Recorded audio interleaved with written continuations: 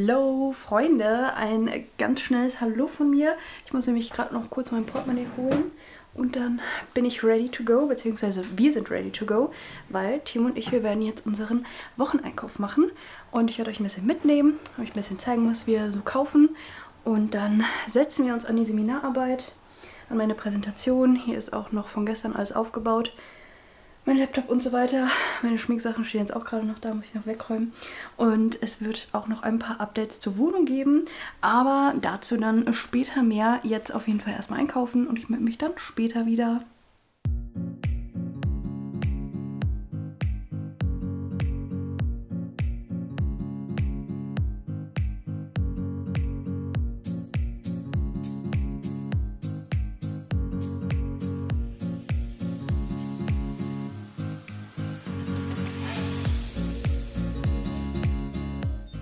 So, wir sind zurück vom Einkaufen und ich befinde mich jetzt an meinem Schreibtisch.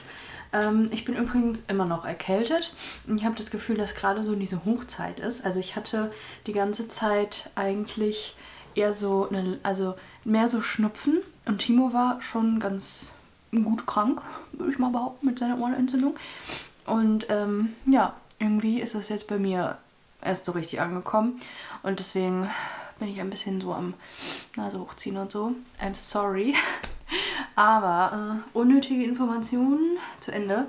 Wir waren ja einkaufen, hat alles gut geklappt. Wir waren danach noch kurz bei meinen Eltern, weil ich noch was abgeholt habe für mein Schminkzeug.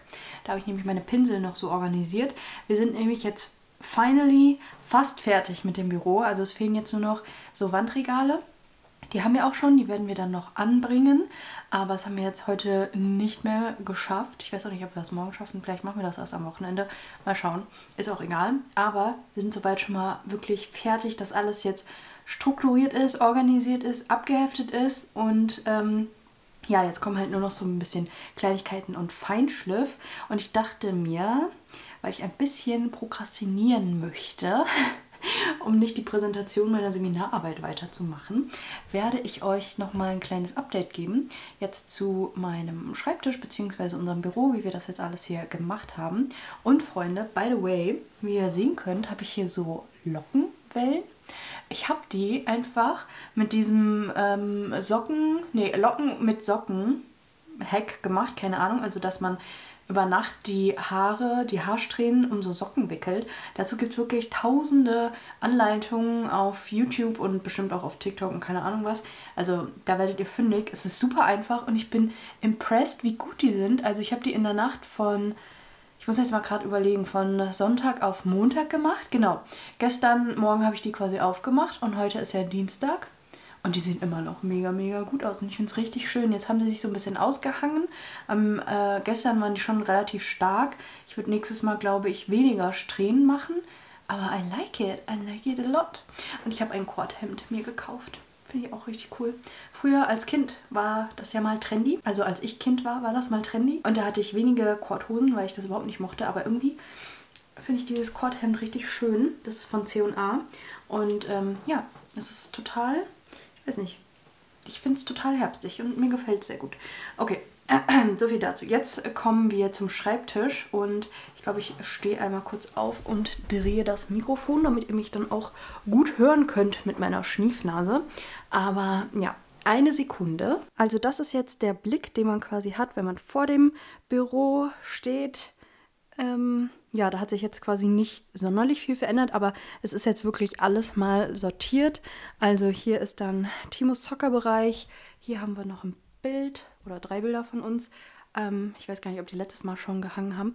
Und dann haben wir jetzt hier dieses Billigregal. Das habe ich ein bisschen umsortiert. Und ich glaube, ich mache mal kurz Licht an, damit das ein bisschen heller ist. Genau habe ich alles ein bisschen umsortiert. Da oben sind jetzt meine ganzen Jura-Bücher, damit ich das so ein bisschen auf Augenhöhe habe und einfach besser sehen kann. Meine Karteikarten und dann kommen hier meine Gesetzestexte beziehungsweise auch Kommentare und da sind meine ganzen Zeitschriften drin. Und ich denke mal, dass wir hier dann noch die Größen ein bisschen verstellen werden. Schauen wir mal. Dieses Regal ist jetzt quasi noch so ein bisschen provisorisch, äh, nicht Regal, sondern hier die Reihe hier ist jetzt noch ein bisschen provisorisch. Das Bild werde ich dann wahrscheinlich woanders hinstellen. Und da sind dann diese Wandregale drin. Das sind so drei Stück in verschiedenen Größen. Und da werden dann zwei hier hinkommen an die Seite, ähm, damit das dann quasi für meinen Videohintergrund ist. Und eins werden wir dann hier über Timos ähm, Schreibtisch machen. Und da kommen unsere ganzen Schottgläser drauf, weil nach jeder Reise ähm, bringen wir immer ein Schottglas mit. Und genau, deswegen kommen die dann dahin. Hier unten haben wir meine ganzen Rap-Sachen, also die ganzen ähm, Unterlagen aus dem Rap noch und Lernzettel und so weiter. Und ganz da unten sind dann andere Bücher und ja, einfach so ein bisschen Krimskrams. Und ich denke mal, dass ich das Regalbrett ähm, dann auch ein Stück nach runter mache, damit das einfach nicht so ein großer Spalt ist. Genau, dann haben wir hier meinen Mülleimer. Relativ unspektakulär, würde ich mal behaupten. Und dann hat Timo jetzt hier so eine Steckerleiste angebracht. Die hat er hier so schön unten dann verbaut quasi. Und die ist dann dahinter. Dahinter. Und da kann ich dann zum Beispiel mein iPad-Ladekabel oder so reinmachen. So kann man es vielleicht besser sehen. Da hinten ist jetzt die Steckerleiste. Und dann, ja, ist jetzt hier mein Zeug quasi organisiert. Ähm, hier sind meine Blöcke drin und dann haben wir hier noch so ein paar Ordner. Da oben auch noch ein paar leere Ordner. Hier ist das meine ganze Schminkzeug, mein ganzes Schminkzeug. Und da hinten könnt ihr vielleicht sehen, habe ich jetzt meine Pinsel schön gestapelt. Das sind alles so für ähm, Make-up, also für Augen-Make-up-Pinsel. Genau, und dann so mein Daily-Zeug. Das ist ja jetzt nichts Neues mehr. Dann haben wir einfach mein Schreibtisch hier. Da hat sich auch nicht viel verändert. Ist jetzt auch gerade ein bisschen chaotisch. Und hier habe ich noch mal ein bisschen umstrukturiert. Hier unten sind jetzt meine Schönfelder Taschen drin für unterwegs. Hier sind Timos und meine wichtigen Ordner. Und hier hat sich auch nicht viel verändert. Da ist so mein alltägliches Zeug, was ich so am häufigsten benutze. Hier drunter ist jetzt meine restliche Schminke. Hoppala. Habe ich jetzt hier alles einsortiert mit Paletten und Puder und so. Hier sind meine ganzen Lippenstifte, Labellos, Lip Liner, Glosse und hier ist alles, was so mit ja, Augen, sage ich mal, zu tun hat. Also Kajal, Eyeliner oder so, Lidschattenstifte, Augenbrauenzeug, Wimperntusche und da hinten ist noch mein Augenbrauenzeug. Und hier ist nach wie vor meine Elektronik-Ecke. Da habe ich jetzt auch so Handyhüllen und so drin. Bisschen vollgestopft. Und hier drunter sind jetzt meine anderen, sage ich mal, ja, sind eigentlich nicht Elektroniksachen, aber sind halt für meine Elektroniksachen. Einfach so Schutzhüllen und so. Genau. Das haben wir jetzt alles hier drin gelagert. Und jetzt ist es auf jeden Fall deutlich angenehmer. Vor allen Dingen, weil jetzt hier nicht mehr irgendwie alles zusteht. Das ist wirklich sehr praktisch. Und so an sich sind wir quasi jetzt hier auf jeden Fall fertig. Wie gesagt, kommen dann nur noch so ein paar Kleinigkeiten. Die Blumen, die da oben stehen, die Fake-Blumen, dieser Blumenstrauß, der wird dann auch wegkommen. Und das war soweit nochmal ein Update zu unserem Büro. Jetzt aber, meine lieben Freunde, werde ich mich der Präsentation meiner Seminararbeit widmen. Vielleicht wisst ihr es ja noch aus meinem, ich meine, das war der letzte Vlog. Ähm, da habe ich euch in meiner sehr stressigen Woche mitgenommen, wo ich meine Seminararbeit zu Ende geschrieben habe, die ja für meinen Schwerpunkt ist, also eine Leistung für den Schwerpunkt. Und die habe ich abgegeben am 16. September und man muss Seminararbeiten immer noch mündlich präsentieren. Und bei uns ist es so, dass die Seminarleiter entschieden haben, dass wir die Präsentation online machen über Microsoft Teams heißt es, glaube ich. Und ich bin ehrlich gesagt ziemlich aufgeregt deswegen, weil ich habe Microsoft Teams noch nie benutzt. Ich weiß nicht, wie das funktioniert und ich habe sehr Angst, dass da irgendwas schief gehen könnte. Noch dazu ist es jetzt ein bisschen blöd mit meiner Erkältung, weil ich habe auch ein bisschen Angst, dass sie halt jetzt noch schlimmer wird, dass man mich dann nicht gut verstehen kann oder ja, ich halt nicht so lange am Stück reden kann oder meine Nase läuft und ich dann die ganze Zeit so rumschniefe. Das wäre irgendwie semi-geil. Aber ja, ich hoffe einfach, dass das irgendwie funktioniert. Timo hat mir auch noch mal ein paar Erkältungssachen geholt. Nachdem wir einkaufen waren, war er nämlich noch mal unterwegs. Ähm, und ja, hat noch so ein paar Erkältungssachen geholt und so Lutschbonbons und ja, also ein Kram halt.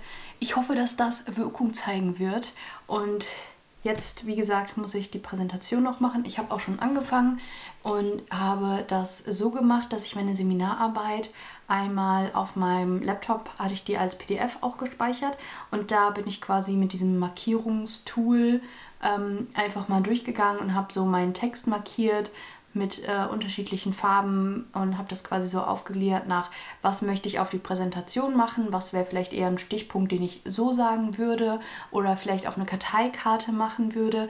Das ist nämlich noch der nächste Punkt. Ich weiß nicht genau, wie sich die Seminarleiter das dann vorstellen mit der Präsentation. Also ob wir einfach halt unseren Bildschirm teilen und dann einfach sitzen ne, und das zeigen oder ob wir uns trotzdem hinstellen sollen. Das ist so ein bisschen tricky und ja, das macht mir so ein bisschen Angst. In der Situation bin ich vielleicht schon so ein bisschen ein äh, Kontrollfreak, weil es mir schwer fällt, wenn ich nicht weiß, wie das so abläuft und wie das so macht, äh, gemacht wird und ja, ich halt nicht so richtig die, wie sagt man, nicht, ja, also eigentlich keine Einwirkung darauf habe da fällt mir das immer so ein bisschen schwer, das äh, ruhig anzugehen. Also ich weiß nicht, ob man dazu schon Kontrollfreak sagen könnte, aber das ist definitiv ein Problem meiner Wenigkeit. Ähm, genau, aber ich bin wie gesagt meine Seminararbeit durchgegangen und habe mir so Passagen ähm, markiert, je nachdem, ob ich die halt wie gesagt für meine Präsentation nutzen will oder ob ich das halt einfach so sagen möchte. Und ähm, ja, habe mir dann einfach nochmal so ein bisschen selbst mich wieder in mein Thema eingelesen. Und dann habe ich, das habe ich aber schon am Wochenende gemacht, glaube am Samstag war das, habe ich die Seminararbeiten von den anderen Seminarteilnehmenden gelesen. Wir sind insgesamt sechs Stück und die Seminarleiter haben entschieden, dass wir die Präsentation an zwei Tagen machen. Jetzt am Donnerstag und am Freitag, jeweils von 9 bis 12 Uhr. Bin ich sehr erleichtert drüber, weil Timo hat am Freitag auch noch Geburtstag und es wäre halt echt blöd gewesen, wenn das irgendwie so ein ganzer Tag gewesen wäre. Von, keine Ahnung, 9 bis 15, 16 Uhr oder so und ich dann mehr oder weniger seinen Geburtstag so ein bisschen verpasst hätte. Deswegen bin ich ganz froh, dass das halt so aufgeteilt wurde.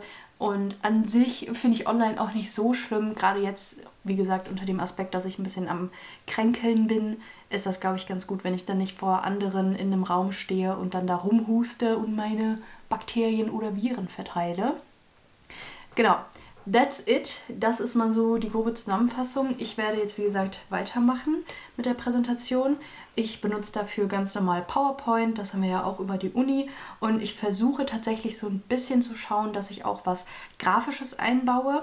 Ähm, mein Thema für die Seminararbeit sind ja oder war ja ähm, die Mengengrenzen im Betäubungsmittelgesetz. Und da gibt es dann halt für die verschiedenen Betäubungsmittel auch Grenzwerte und das könnte man halt eigentlich ganz schön darstellen, irgendwie vielleicht mit so einem Säulendiagramm. Ich muss mal schauen, vielleicht mache ich das auch nur tabellarisch. Ich habe auf jeden Fall für meine Einführung quasi, um so ein bisschen so einen Einstieg in das Thema zu geben, habe ich so eine Übersicht, also so ein, so ein Kreisdiagramm genommen vom Zoll. Die haben da so eine Statistik aufgestellt, wie viele Betäubungsmittel letztes Jahr vom Zoll eben sichergestellt wurden. Und das habe ich schon mal ähm, dargestellt. Ich weiß jetzt nicht, ob ich euch das zeigen kann, weil das ja nicht meine eigene Quelle ist und ich will da jetzt keinen Ärger bekommen. Aber ähm, ja, ich habe das quasi einfach nochmal selber erstellt mit ein paar schöneren Farben. Falls euch das interessiert, dann könnt ihr das einfach beim Zoll online nachlesen. Es sind auf jeden Fall ähm, ja, ziemlich viele. Allein Kokain waren 21.549 Kilogramm, also ähm, ja, ist eine ordentliche Menge, würde ich sagen. Aber jetzt quatsche ich nicht weiter, weil ich verliere immer mehr Zeit. Es wird auch gerade schon wieder total dunkel. Es ist halt Herbst, ne? Was soll ich euch sagen? Genau. Und jetzt mache ich erstmal weiter mit der Präsentation und schau mal, wie gut ich hier vorankomme. Eigentlich wollte ich schon längst fertig sein, aber na gut. Man, äh, es, es läuft nicht immer nach Plan im Leben, ne? Das äh, ist halt dann auch mal so.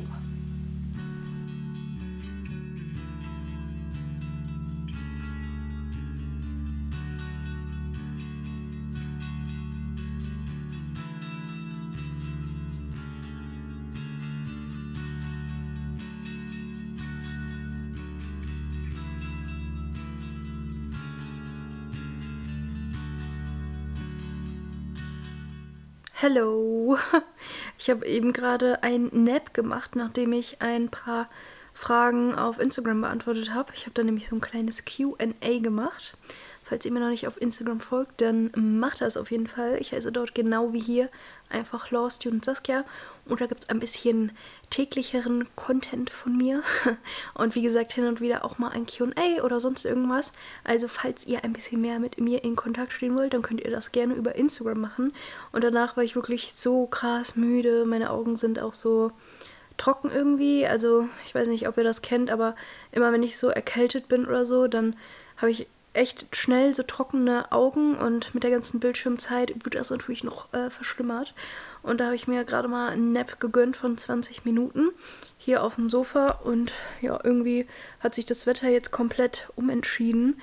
Ähm, ja, es war die ganze Zeit irgendwie sonnig, aber jetzt ist es irgendwie ein bisschen bewölkt und es wirkt so richtig dunkel jetzt hier auch. Aber Freunde, ich muss jetzt gleich wieder weitermachen für die Seminararbeit. Ich habe wirklich gar keinen Bock. Und eigentlich wollte ich euch jetzt noch ein kleines Wohnungsupdate geben, ein weiteres und euch unseren Flur zeigen. Aber Freunde, es ist so dunkel. Es hat jetzt nicht mehr so schönes Tageslicht. Machen wir das einfach trotzdem. Ich kann euch das ja zur Not auch morgen nochmal zeigen oder so. Ich glaube, ich zeige es euch jetzt einfach trotzdem. Es ist mir jetzt egal, ich mache einfach das Licht an und dann wird das schon passen, weil ich einfach alles tue, um mich jetzt vor dieser Seminararbeit schon wieder zu drücken. Ich verstehe auch nicht warum, ne? Ich verstehe nicht, warum ich so bin irgendwie. Das ist ganz schlimm in letzter Zeit, dass ich Sachen so aufschiebe und so. Das ist eigentlich gar nicht, nicht typisch für mich. Und ich mag ja mein Seminararbeitsthema sogar sogar. Boah. Ja, okay, egal. Ich zeige euch das jetzt einfach. Ich gebe euch noch ein Wohnungsupdate, weil wir lieben das. Ne? Mache ich. Also ich habe jetzt einfach mal das Licht im Flur angemacht und hoffe, dass das dann so in Ordnung ist. Und zwar sind wir jetzt ja gerade noch im Wohnzimmer. Und wenn man da so rausschaut, dann seht ihr schon direkt unsere Bilderwand von unserer Paris-Reise. Ich lieb's. Das Bild da oben, das ist von Desenio. Das habe ich nicht selber gemacht, aber selbst gekauft. Das ist also keine Werbung oder so. Genau, und hier unten sind dann unsere Bilder von Paris und aus dem Disneyland. Und ich finde das voll schön, weil das eben schwarze Bilderrahmen sind. Und wenn wir uns jetzt hier nach rechts drehen, dann haben wir hier unser Regal. Wir haben nämlich versucht, im Flur auch so ein paar schwarze Akzente zu setzen zu unserem Boho-Stil. Dadurch, dass wir eigentlich eher alles so in Holz und Weiß eingerichtet haben. Und da haben wir jetzt hier so ein Metallregal stehen und ich finde das ziemlich fancy, muss ich sagen. Genau, und da haben wir hier einmal so eine schöne, sweete Lichterkette. Hier unten sind meine ganzen Schals und so Tücher und so weiter. Und unsere Fake-Pflanzen. Hier steht jetzt mein Dino, dann unsere Tafel und wie gesagt meine Tücher. Und daneben, das kennt ihr schon, unser Sideboard, das hat jetzt ein bisschen Deko abbekommen. Wir haben eher einmal so eine Laterne oder Laternengestell, das ist von Ikea. Und da ist so eine Fake-Kerze drin. Und diese zwei Kerzen, nennen wir das Kerzenständer, Kerzenhalter, I don't know, die sind von Teddy. Und ich glaube, ich werde dann auch noch so Fake-Teelichter holen, weil ich finde es ganz schön, das halt dann abends anzumachen. Aber ich möchte nicht hier so Kerzen anhaben, also Feuer, und dann irgendwie im Wohnzimmer sein oder so. Daraus ist es. Deswegen werde ich wahrscheinlich dann da auch noch welche holen. Genau, dann haben wir hier weitere Fake-Pflanzen, unser Duftteil da. Und hier haben wir ein bisschen Herbstdeko. Die ist tatsächlich auch von Teddy. Ich finde es total sweet, vor allem diesen Igel. Ansonsten hat sich jetzt hier auch wirklich nichts großartig mehr verändert glaube ich zumindest. Aber ich finde, unser Flur sieht jetzt auch schon richtig schön aus. Mal gucken, ob wir vielleicht neben den Spiegel noch ein Bild machen oder so. I don't know. Ich will es auch nicht zu überladen haben. Aber ja, ich finde das voll schön. Wenn jetzt immer so hier reinkommt und dann sieht man das so. Ich finde das richtig pretty. Und ich glaube, ich würde hier dann noch irgendwie eine Pflanze hinstellen oder so eine große Vase mit ähm, dann so Pampasgras oder irgendwie sowas. Könnt mir auch gerne mal schreiben, wenn ihr Ideen habt. Ich bin da auch immer dankbar für ein bisschen Inspo, weil dann könnte man den Raum dazwischen noch nutzen. Und ich glaube, so eine schöne große Vase oder eine schöne Pflanze, das würde eigentlich ganz cool aussehen. Aber wie gesagt, ihr könnt mir gerne mal Inspiration und Vorschläge in die Kommentare hauen. Es ist einfach erst kurz nach vier und ich frage mich, warum es schon so dunkel ist. Was soll das? Aber ich habe mir nochmal eine Tasse Tee gemacht und jetzt werde ich nochmal ein bisschen weitermachen. Ich bin irgendwie ganz schön platt, muss ich sagen. Ich glaube, ich schaue mir meine Präsentation erst nochmal an. Vielleicht lese ich dann nochmal die anderen Seminararbeiten, obwohl, nee, das wollte ich eigentlich morgen machen. Zumindest das Fazit von den ganzen Seminararbeiten wollte ich mir morgen nochmal durchlesen. Aber ich glaube, ich muss mir mal Licht anmachen. Das ist ja irgendwie... Okay, sorry, das war jetzt, glaube ich, ein bisschen ein unschöner Effekt, aber ähm, ja, sonst ist hier irgendwie richtig dunkel drin. I don't know. Aber Freunde, jetzt, jetzt jedes los. Jetzt mache ich weiter.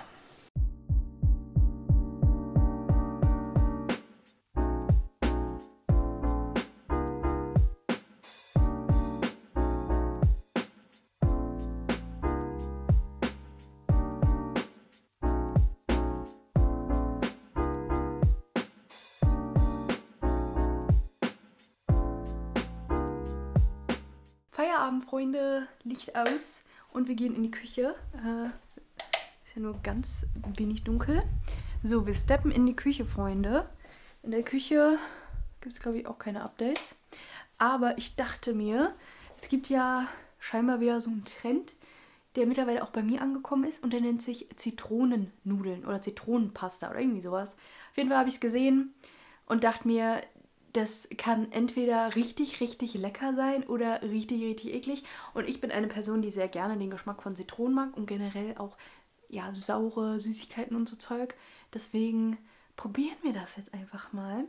Und ich nehme euch ein bisschen mit. Also, ich habe jetzt mal diesen Weißabgleich oder was das ist angemacht. Auf jeden Fall, Freunde, brauchen wir einfach Nudeln, Zitrone, Pflanzenmilch, eine Zwiebel und Knoblauch. Ich hier mal den Ofen zumachen, weil der stört mich ein bisschen. Und eigentlich scheint das ganz einfach zu sein. Ich mache jetzt hier mal mein Nudelwasser an. Eigentlich, man soll 225 Gramm Nudeln nehmen.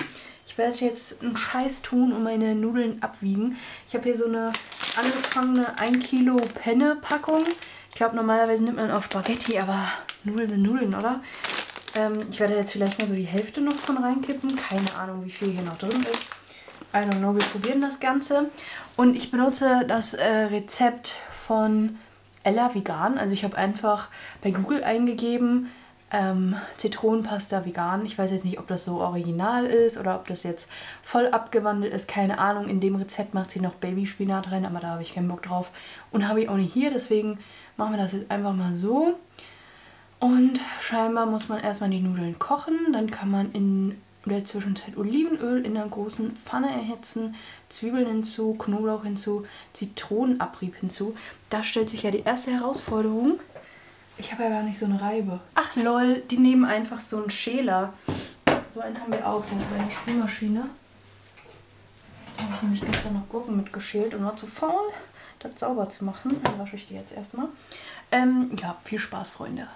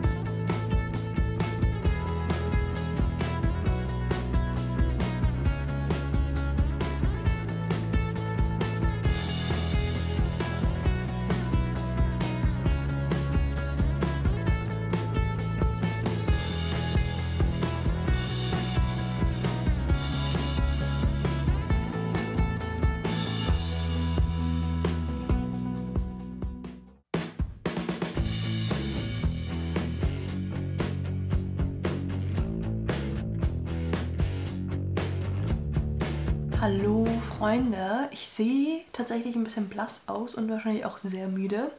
Ich bin auch sehr, sehr müde. Ich konnte leider letzte Nacht überhaupt nicht gut schlafen und ich habe gestern auch nicht mitgevloggt. Mir ging es gestern den ganzen Tag über nicht so gut, auch aufgrund der Erkältung, aber vor allen Dingen, weil ich echt richtig Schiss habe jetzt vor der Präsentation.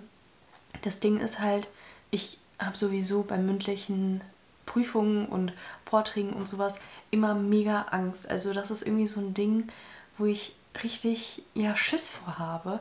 Und meine letzte Präsentation, so wirklich mündlich, war halt einfach im Abitur, was ja mittlerweile auch schon sechs Jahre vorbei ist. Das ist äh, ja richtig krass. Man merkt mal wieder, wie alt man ist. Und dementsprechend habe ich halt auch einfach die letzten Jahre nicht mehr so viel Übung darin sammeln können. Und ich habe wirklich richtig Angst, dass ich nicht frei genug spreche oder undeutlich spreche oder ja, irgendwie, keine Ahnung, zu schnell spreche, die Zeit nicht einhalte. I don't know. Einfach, dass irgendwas schief geht. Ich hoffe natürlich, dass dem nicht so ist, aber ich habe richtig Schiss und ich weiß ja auch nicht so 100 Prozent, ob ich heute dran komme. Ich glaube schon, aber ich bin nicht richtig sicher. Und ich hoffe einfach, dass das jetzt alles gut läuft, dass ich möglichst frei sprechen kann. Ich habe leider ziemlichen, ziemliches Halskratzen. Ich habe jetzt auch schon so eine Lutschpastille drin und habe hier ein paar Bonbons liegen und Wasser, damit ich ja versorgt bin und im Ernstfall, falls ich dann mich irgendwie keine Ahnung, falls ich total husten muss oder weiß ich nicht, dass ich dann einfach einen Schluck trinken kann und nicht meine ganze Präsentation verhaue. Ich habe mich auch, ähm, ja, ich sag mal, recht ordentlich angezogen. Ich habe mal wieder eine Bluse ausgepackt, habe ich schon lange nicht mehr angezogen. Und ich habe tatsächlich auch eine Jeans an unter meiner Decke, ähm, weil ich irgendwie Angst hatte, dass wir doch uns hinstellen sollen. Und dann stehe ich so auf und habe nur eine Jogginghose an. Deswegen schauen wir mal, wie das jetzt so läuft. Ich bin wirklich ultra gespannt. Wir haben jetzt 20 vor 9, um 9 geht's los. Ja, ich bin mal wieder ein bisschen früher schon fertig, weil ich immer Angst habe, dass ich dann zu, zu sowas zu spät komme oder so. Aber Themenwechsel, Freunde, ich bin positiv überrascht, wie gut diese Wellen halten. Also ich finde jedes Mal, wenn die sich ein bisschen mehr aushängen, sieht es noch schöner aus. Gefällt mir wirklich richtig gut und die Haare fühlen sich auch ganz ja, normal, natürlich an. Es ist nicht irgendwie verknotet oder so. Man kann es gut durchkämmen und sieht danach nicht frizzig aus oder so. Ich bin aufgeregt. Ich bin so aufgeregt und ich will nicht. Ich will wirklich gar nicht. Nein, nein, nein. Ich hab's geschafft. Es ist vorbei. Freunde, Halleluja. Ich kann, wow, super Belichtung, einen Haken an meine erste Seminararbeit setzen. Ich bin sehr erleichtert und ich muss sagen, natürlich war es jetzt mal wieder nur halb so schlimm, wie ich mir das Ganze ausgemalt habe. Meine Präsentation lief an sich ganz gut. Generell muss ich sagen, war das wirklich, also wir haben ja morgen den Tag auch noch, wo die restlichen Seminarthemen oder Seminararbeiten dann präsentiert werden, aber allgemein kann ich jetzt schon sagen, dass eine wirklich sehr angenehme und coole Lern, äh, Lerngruppe, Seminargruppe ist. Die zwei Rechtsanwälte, die das Ganze leiten, sind sehr sympathisch, total locker und ja, machen das Ganze richtig cool, dass man sich auch einfach wohlfühlt und auf einer Ebene und nicht irgendwie eigentlich Angst haben muss. Diese Angst liegt halt immer nur bei mir, in meiner Person, weil ich so mündliche Prüfungen einfach richtig, richtig schlimm finde. Aber egal, ich habe es geschafft. Es war ganz äh, okay, würde ich sagen. Ich hoffe, dass es insoweit auch ja, nachvollziehbar war alles und ähm, dass ich mit der Präsentation vielleicht noch mal ein bisschen punkten konnte, weil ich natürlich bei der Erstellung meiner Präsentation auch dann in meiner schriftlichen Seminar gemerkt habe, dass da doch ein paar Fehler waren, so im Satzbau oder so. Das war dann äh, auch ein bisschen ärgerlich, aber ich hoffe einfach mal, dass es nicht zu stark gewichtet wird. Und leider, ich weiß nicht, ob das an dem Mac liegt, also an Apple, aber bei Microsoft Teams konnte ich wenn ich äh, meine PowerPoint-Präsentation dann geteilt habe und gestartet habe, dann gibt es ja diese Bildschirmpräsentation und dann kann man ja auswählen, von welcher Folie aus man starten will. Und wenn ich das gemacht habe und in diesen Modus der Bildschirmpräsentation gegangen bin, konnten die anderen einfach nicht sehen, wenn ich weitergegangen bin. Das heißt, ich musste PowerPoint einfach so normal geöffnet haben und dann jede Folie einzeln anklicken. Das hat mich sehr geärgert, weil ich mir super viel Mühe gegeben habe für die Effekte meiner PowerPoint-Präsentation und die hat man natürlich dann alle nicht mehr gesehen. Also diese ganzen Verblendungen und Einblendungen und ne, was es da alles gibt. Das hat mich ein bisschen geärgert, weil ich da eigentlich recht stolz drauf war. Aber gut, ist halt so. Ähm, und ja, ich hoffe einfach, dass das jetzt doch insoweit vielleicht ganz gut war. Und ähm, ja, bin sehr gespannt, was dann am Ende bei rauskommt. Ich weiß auch gar nicht, wann wir die Noten bekommen. Vielleicht sagen die dazu morgen nochmal was. Morgen werden dann die restlichen drei Seminarteilnehmenden ähm, einmal ihre Seminararbeiten vorstellen und dann ist das ganze Ding geschafft. Und ansonsten habe ich jetzt eigentlich auch nicht mehr viel zu berichten. Ja, das Ganze hat mich dann jetzt irgendwie doch ganz schön angestrengt und jetzt muss ich ja dann auch gleich zur Arbeit. Wir haben jetzt halb eins, in der Stunde muss ich los. Und ähm, Ansonsten wird heute nicht mehr viel passieren. Morgen, wie gesagt, ist dann Teil 2 oder Tag 2 von dem Seminar. Aber dann ja, kommen ja nur noch die anderen dran. Und außerdem hat Timo ja morgen Geburtstag. Und ich warte immer noch auf ein Geburtstagsgeschenk, das ankommen soll. Ich habe richtig Angst, dass es nicht mehr heute oder morgen ankommt. Das wäre richtig, richtig kacke, Freunde. Ich habe nämlich extra früh bestellt und plötzlich hieß es so, ja, Lieferengpässe und dies und das und jenes.